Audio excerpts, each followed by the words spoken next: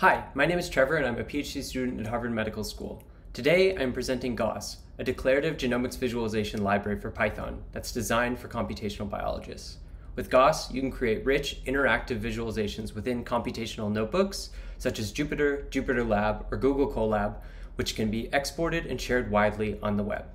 Existing genomics visualization tools are tailored towards specific tasks and are limited in terms of expressiveness, the Gosling visualization grammar for genome map data, in contrast, defines a general set of primitives to transform and map genomics datasets to visual properties. This grammar based approach yields building blocks to compose scalable and interactive genomics visualizations in a more expressive manner. Visualizations are constructed from atomic elements rather than piecing together larger predefined templates like most genome browsers. Although Gosling is extremely flexible, its JSON representation is less ergonomic to construct directly with programming languages that might be familiar to computational biologists, like R or Python. However, logical programming languages can greatly simplify the expression of complex visualizations, which contain many layered or repeated elements, by using language features such as variables, for loops, or conditionals.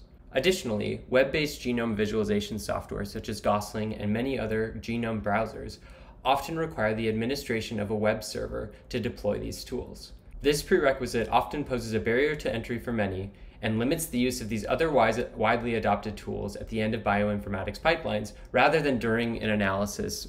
Gos addresses these limitations with an API that's designed for computational biologists. Gos exposes a simple, object oriented Python API for authoring valid visualizations with the Gosling visualization grammar. Gos renders visualizations created with this API directly in computational notebooks like Jupyter Notebook, Jupyter Lab, and Google Colab. And finally, Gos allows the seamless visualization of local, remote, and in memory datasets by transparently hosting these data for the web based visualization. Together, these features allow the use of Gosling during analysis and enable new interactive analysis workflows.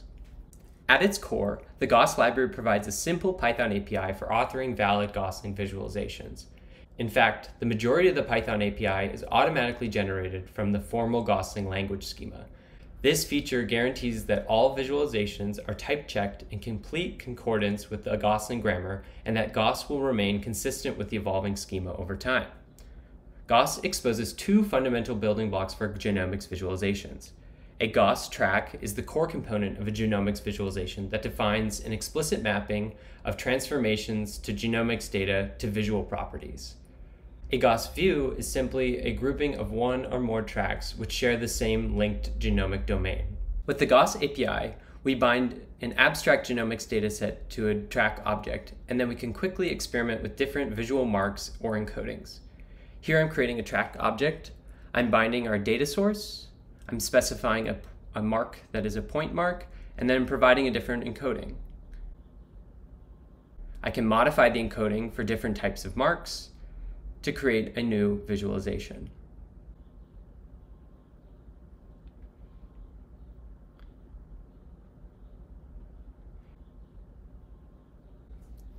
New tracks can be derived from existing tracks or combined to create more complex and integrated visualizations. In this example, we combine a gene annotation view with several single-cell ATAC-seq tracks to provide context when exploring these data. The ability to use the Python language features like functions and for loops makes this process very simple. The Gos library does not contain any visualization rendering code, Instead, it simply exports user-defined JSON data structures which adhere to the Gosling grammar and can be rendered in a variety of web-based user interfaces. The emitted JSON is rendered automatically in computational notebooks using the Gosling.js JavaScript library. This HTML-based output overrides the text-based representation typically displayed for Python objects within notebooks. However, we can easily extract the resulting JSON using the toJSON method and save this to a file or copy the contents to the online Gosling editor.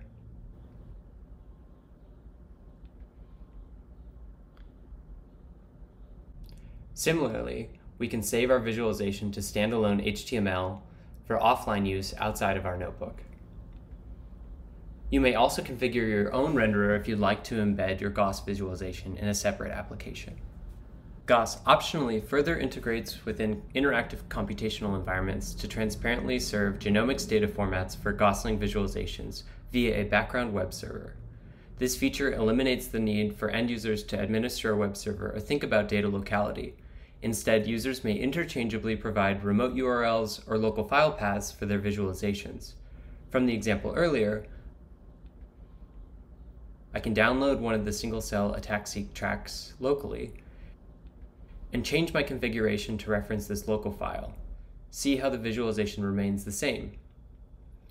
GOS additionally supports loading in-memory data from Pandas data frames.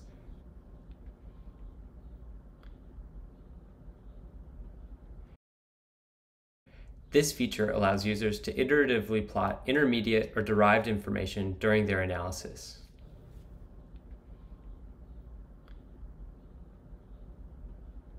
Thank you for stopping by my virtual poster. If you're in Madison, please come by my poster at BioVis.